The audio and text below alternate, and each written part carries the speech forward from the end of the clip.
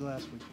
Uh, honestly, just give it to God. You know, I mean, trusting my routine, being consistent, and knowing every week's different. So uh, last week's behind me, and I have to keep proving it. Marcus, uh, how important is it going to be this week to maybe get back to some rhythm offensively, start sustaining more drives? It's going to be crucial, you know what I mean? And we have some things implemented this week to help us do that.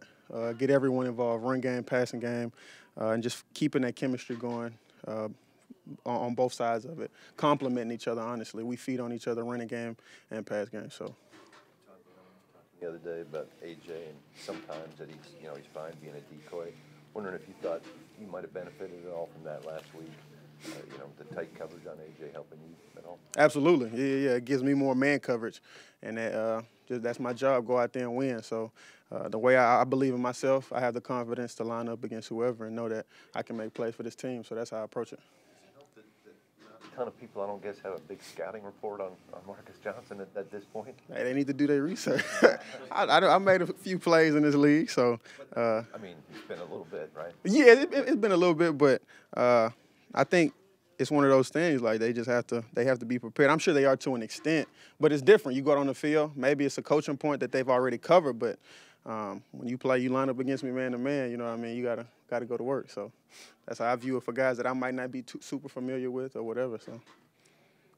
What, What's the momentum like as far as in the receivers room? As far as you mentioned, guys consistently kind of stepping up and making plays, no matter who it is, and how much the guys feed off of that. Uh, it's huge. You know, I mean, I think it's a confidence booster for everybody, coaches, players. Uh, there's a dynamic when you step into a huddle. Like you, everybody kind of looks at each other, and it's like, do you trust that guy in front of you? And I think for that receiver room, we look at each other and we have that confidence. Uh, when you're face to face with Taylor Lewan and Roger and all these other guys, initially when you first come in, a young guy like Dez, Nick, it can be intimidating. I know for me when I was younger, but now you step into it and you know, like I'm gonna come out here, make a play, and help y'all guys out. So this like? I mean, because, because like you said, it, you can't just snap your fingers and make it happen. What's mm-hmm. the, the, mindset in, in trying to just stay with it and persevere? Uh, it's just resilience. I mean, you it's football. It's, it's, it's, human error. You're gonna have drops. You're gonna make mistakes, and it's the ability to bounce back and still believe in yourself, especially as a receiver.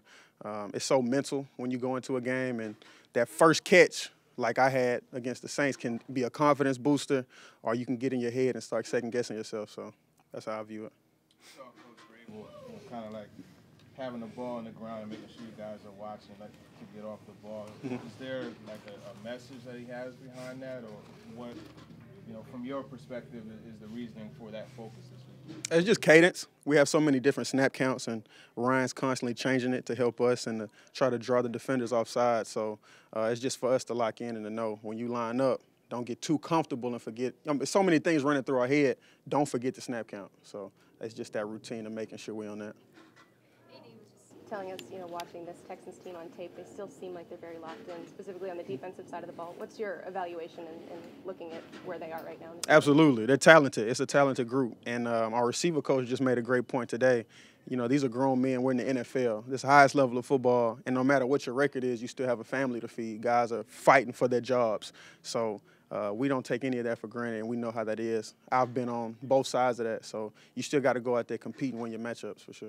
Has that sense of urgency been heightened? I know that was kind of a message for you guys this week. Do you feel like there's been an increase in the, in the, level of urgency for, for everyone out there? Urgency as far as?